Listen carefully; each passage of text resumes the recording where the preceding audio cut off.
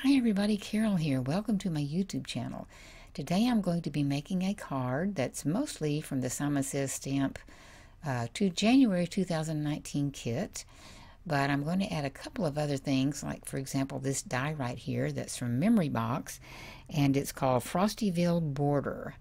Now it's an intricate die, so you might need a shim, like this rubber one here, or just some extra pieces of cardstock, which is what I needed and uh, I mean, I, I, needed a shim of some kind, and uh, so it didn't uh, cut out well the first one. I'm just leaving it in to show you that it happens, but then the next time it did just fine. I made some adjustments, and uh, it is a beautiful, intricate die, and I've used it many times, so I've used the poor thing a lot, but it makes a um, beautiful, detailed die cut.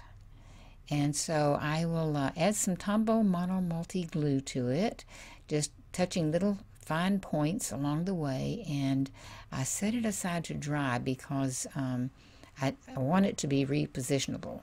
Now while that's drying, I'm going to go to the trimmer and cut some strips of paper and all different sizes. I don't care what the width is, but I do want them to be the same length and you'll see why. So I add uh, some glue to it and I will be adding it to this piece of uh, rectangle here black and I do want it to line up straight. So after I go back and glue the pieces down I don't care so much how far apart it's spaced it's very irregular but I'd like for it to be straight up and down. So now we're going to stamp with the uh, Snow Much stamp set from Simon Says and I'm going to stamp the sentiment Snow Much with Onyx Black ink by VersaFine. And I will go back after that and use, they have a little bitty heart stamp in this kit. And I'll use a bright red, a true red color. And put it down at the bottom. And I'm considering that that says Snow Much Love. Then I'm going to use one of the penguins. I'm using the smaller penguin and I'm going to cut it out so I don't need a big piece of paper just enough to get that design on there. And then for the parts that didn't stamp so well I'm going back with uh, one of my Millennium pens that's about the right size for what I need. Comes in different widths and coloring in those uh, splotchy places. Now I'm coloring his little beak with two colors of orange and then I'm going to cut him out and I won't waste your time watching me cut it out, but I want you to know that I did cut it out. And so then I go around the edges of this rectangle when it's white or a light color. A lot of times I like to do that and uh, with the neutral ink and a sponge. Now I've got these pieces set aside to dry and one of them that I did stamp that I didn't show is uh, from this Dylusions stamp set and uh, I wanted a border at the top. So that's the stamp down at the bottom that I used, and it just added a little something to the whole thing. Now I cut it originally shorter, and I had to go back and add what I cut off because I decided to make the card bigger, and that's the piece I made earlier. I'm showing by peeling that back that you can see that's the one I made earlier with all the stripes and I'm going to finish it off with a big black rectangle at the back. I mean, excuse me, at the bottom. I'm going to straighten that up. I'm going to put, I cut another piece of red, a very thin strip of a, the true bright red, and I'm trying to push it right up against uh, the bottom of that other piece to get it to fit nice and flush. And I'll do the same thing with the black to the red, just get it right up against it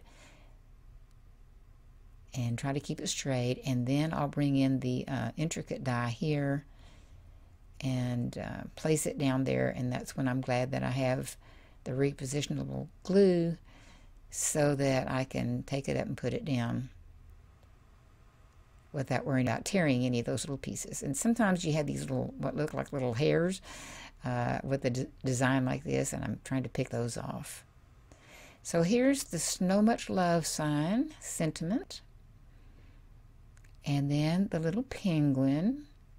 I'm trying to decide where to place him. And then I'll go back and cut off that little extra piece that I had. I cut it too short the first time, and so uh, not only uh, did, did I add the other piece and have to trim it down, I'm also trimming some on the side. And then I go back and trim a little bit off the bottom that wasn't quite right. So um, just takes a second and there certainly wasn't much there. So that is the completed card. You could definitely stop there and make a nice card. It's a big card, but you could mail it in a manila envelope, uh, one that's white probably. Um, but I decided I wanted to do something else. It was kind of by accident. I thought, well, it would make a nice big page if I put this on, on a backing regular 8.5 by 11 piece. And then I had these little thin strips of red just sitting on my table. And I thought, those just look as if they would go together well. So they're just cut very, very thin on the paper trimmer. And um, I started playing with them, and I really liked that look. I just love black and white and red anyway. It's so classic. And I thought this would be some sort of a, I don't know, a scrapbook page or the cover of a booklet if you're making it, or you could even make kind of a set of these that go together and and frame it, or just this one and frame it and hang it on the wall if you had a black and white color scheme. But I thought that looked really good, the kind of wispy, irregular stripes compared to the straight up and down stripes and, uh, and that other touch of red. So um, I hope you like. I liked this a lot. It, to be as simple as it is, uh, I think it's very effective. So thank you for watching me. I'll show you some still shots now, and you can see how it all developed. But uh, and then at the end, there'll be some other videos you might like to see. That's there's some with this uh, Simon Says kit. So thanks for joining me. I really appreciate it, and we'll see you next time. Bye bye.